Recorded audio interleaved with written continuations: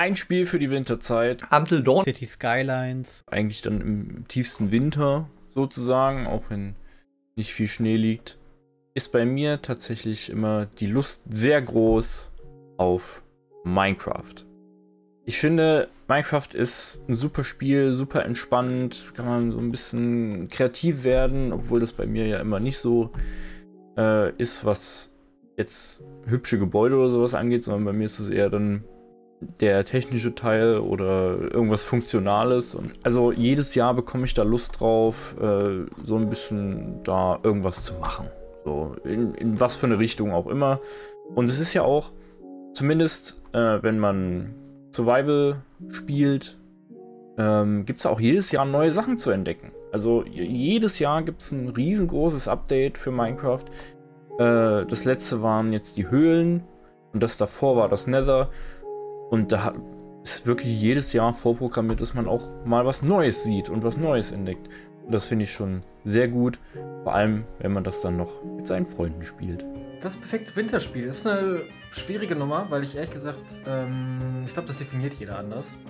Und wir aktuell auch nicht unbedingt den krassesten Winter haben, aber ich habe mich für Professor Layton entschieden. Das habe ich nämlich vor kurzem wiederentdeckt. Also wir haben es beim, ich ziehe ja gerade um, deshalb äh, nehme ich auch das Handy auf. Ähm, und äh, wir haben die alten DS-Spiele wieder gefunden mit meinem äh, 3DS und ich spiele seitdem Professor Layton und das Geheimnis von Dorf und es gibt echt meiner Meinung nach nichts cooleres, als sich irgendwo auf dem Bett bzw. Sofa einzukuscheln, am besten noch mit Hund oder Partnerin oder was auch immer man gerade irgendwo noch findet.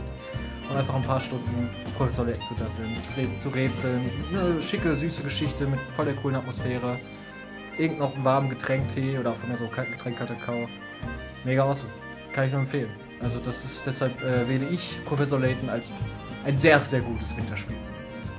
Ja, ich habe überlegt, welches Videospiel könnte sich für eine winterliche Atmosphäre eignen, wenn es draußen kalt und düster ist und man sich irgendwie in der Wohnung, in der warmen Wohnung einkuschelt, vielleicht einen warmen Tee oder Kakao trinkt. Welches Spiel könnte sich da eignen? Und spontan ist mir Alan Wake eingefallen. Ich finde so Crime, Mystery, Spiele, gerade auch Alan Wake mit dieser düsteren Atmosphäre. Es eignet sich sehr für den Winter, aber ich habe Alan Wake schon mal genannt, deshalb habe ich weiter überlegt, okay, welches Spiel habe ich schon mal gespielt, das sich dafür eignen würde und mir ist spontan Until Dawn eingefallen.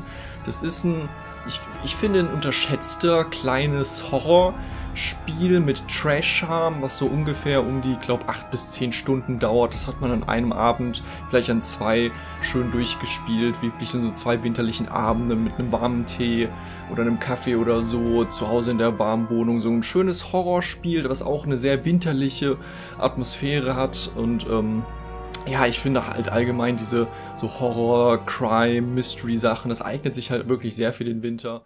Tatsächlich für mich ist es gar nicht direkt ein Spiel, beziehungsweise eine Spieleempfehlung, sondern eher eine Spielreihe.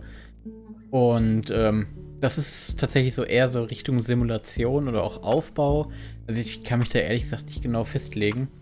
Ähm, sowas wie Sims oder City Skylines würde da schon reinfallen, weil das halt einfach ein Spiel ist, das, das frisst unglaublich viel Zeit und äh, oder das sind Spiele, die fressen unglaublich viel Zeit und gerade mit solchen Spielen kann man gerade diese depressive Zeit im Winter besser rumkriegen.